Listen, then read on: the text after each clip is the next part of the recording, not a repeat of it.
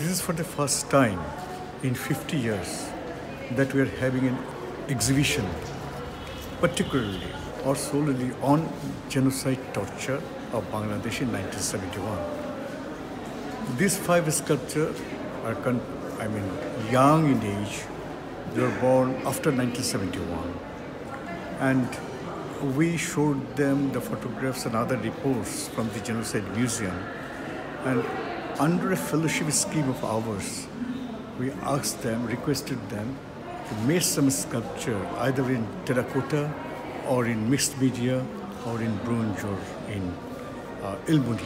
It's purely on genocide, not abstract. In size, they're small. But you see, we are getting such a popular response to these things, which is incredible. In that way, we can say we could communicate through the next generation, young generation, through this sculpture for the first time in 50 years. Through this exhibition, we have been able to display how the barbarous activities, atrocities were carried out by the Pakistani army. Now, but these are these are the realistically depicted, more or less slightly uh, crudely, so that one can feel the horror of the situation. And I think uh, this is very important for the children because they would like to have a very raw presentation uh, rather than very artistically. I did actually uh, seven sculpture for this project.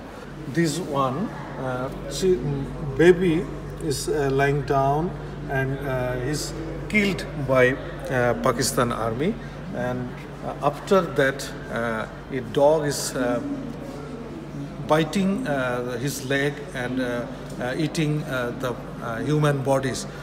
this one also brutal um, attitude of Pakistan army. he kick some common people and Uh, uh, killed some uh, common people.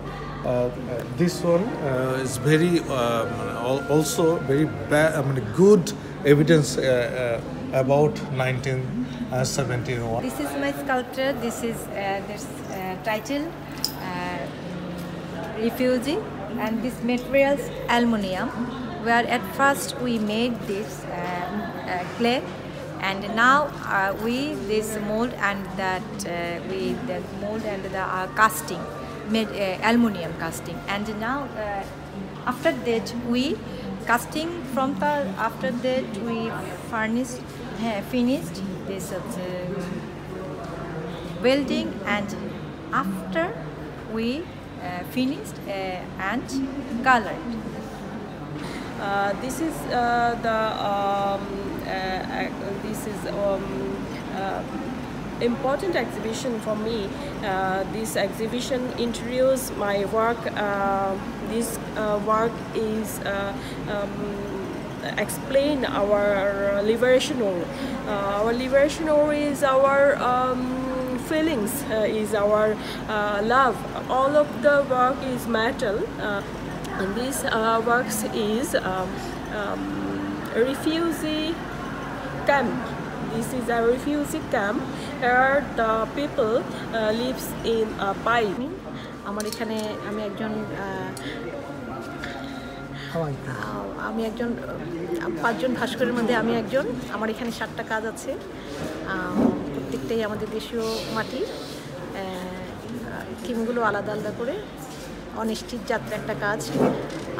দুঃখিনী মা একত্রে দুঃখ, তারপরে নারীর হাহাকার, গণহত্যা যত one গণহত্যা যত টু গণকবর এই সাতটা কাজ।